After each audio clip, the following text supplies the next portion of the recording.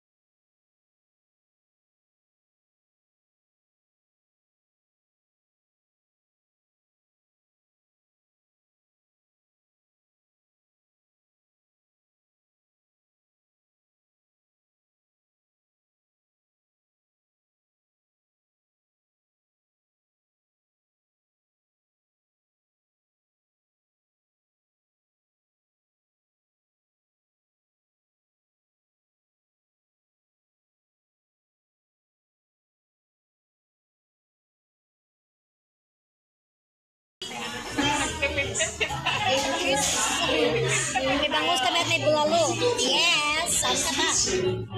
Ayan. Tipid-tipid tayo ngayon kasi mahal.